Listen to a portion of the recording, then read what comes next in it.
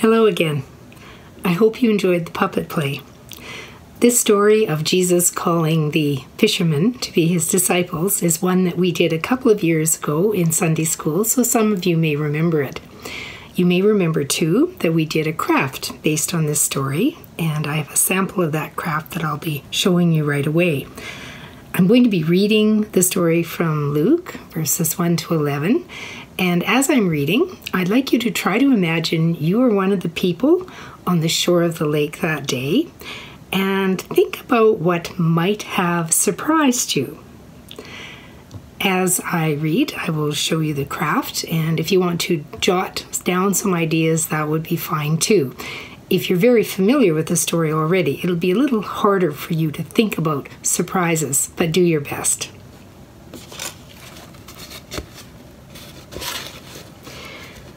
Once, while Jesus was standing beside the lake of Gennesaret, which is Lake Galilee, and the crowd was pressing in on him to hear the word of God, he saw two boats there at the shore of the lake. The fishermen had gone out of them and were washing their nets. He got into one of the boats, the one belonging to Simon, and asked him to put out a little way from the shore. Then he sat down and taught the crowds from the boat. When he had finished speaking, he said to Simon, Put out into the deep water and let down your nets for a catch. Simon answered, Master, we have worked all night long but have caught nothing. Yet, if you say so, I will let down the nets. When they had done this, they caught so many fish that their nets were beginning to break. So they signaled their partners in the other boat to come and help them. And they came and filled both boats so that they began to sink. But when Simon Peter saw it, he fell down at Jesus' knees, saying, Go away from me, Lord, for I am a sinful man. For he and all who were with him were amazed at the catch of fish that they had taken. And so also were James and John, sons of Zebedee, who were partners with Simon. Then Jesus said to Simon, Do not be afraid. From now on, you will be catching people. When they had brought their, their boats to shore, they left everything and followed him. So, as you imagined you were in the crowd that day, did anything surprise you? I think the first surprise that people might have had that day was that Jesus was teaching from inside a boat on the edge of a lake. That is a bit unusual. And when he got into the boat, I'm thinking that people figured he was just going to leave to go somewhere across the lake so he could get some peace. And what about Jesus' instructions to the disciples to go out on the water again after they'd been fishing for hours and caught nothing and had finished cleaning their nets? That instruction, I think, would have surprised people, but they might have been even more surprised when the disciples obeyed.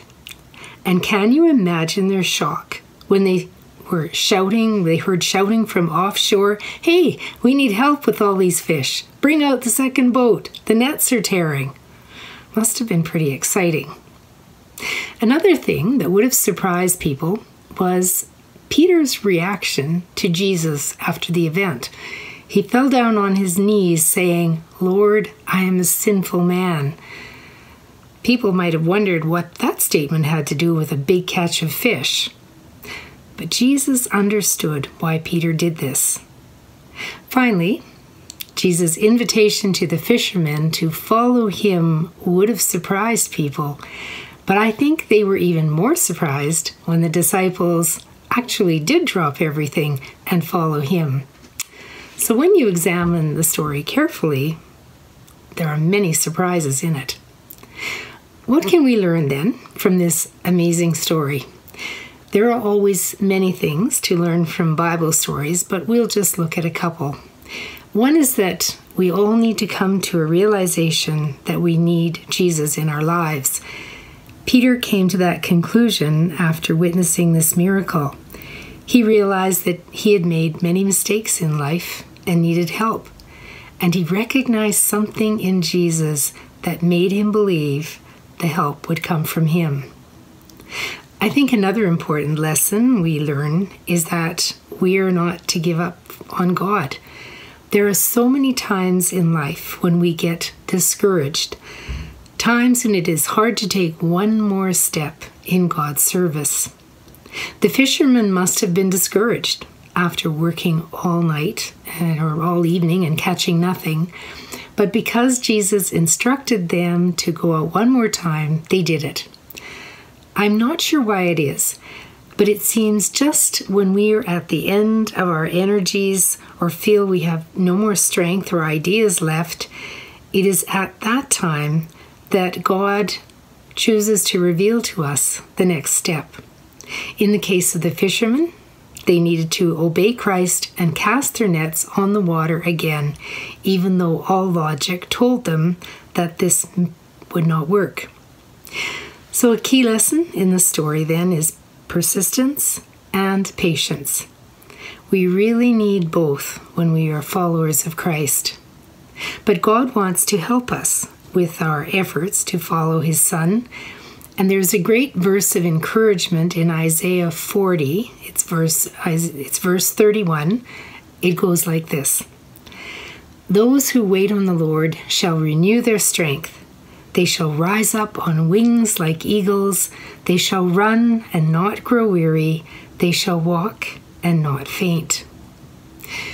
God wants us to always remain hopeful, to be patient in spite of difficult situations and to continually ask for help in prayer. I'd like to close with a short prayer right now, so I invite you to bow your heads. Heavenly Father, we thank you for the example that the disciples have set for us. Help us to do as they did and to be willing to keep trying to follow you, even when we become discouraged and tired. Help us to remember to always pray to you. We ask this in Jesus' name. Amen. That's all for right now. I hope you have a good week. We will have another puppet play ready for you next week, a lion and turtle one. And so until then, stay safe.